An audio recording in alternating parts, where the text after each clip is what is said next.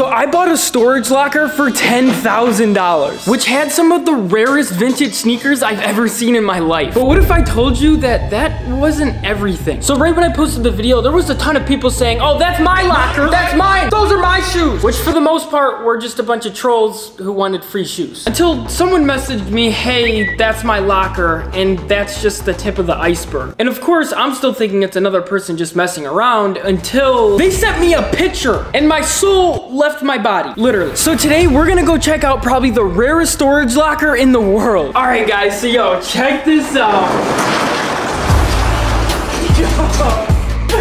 So guys, this right here is the man, the myth, the legend. This is Warren. Now, why do you have all these shoes in here? I've just been collecting for a long time. When did you end up starting? Probably, I have a bunch of skate shoes in the back. Okay. Uh, so I kind of started collecting skate shoes first. Okay, what around what year? The late 90s.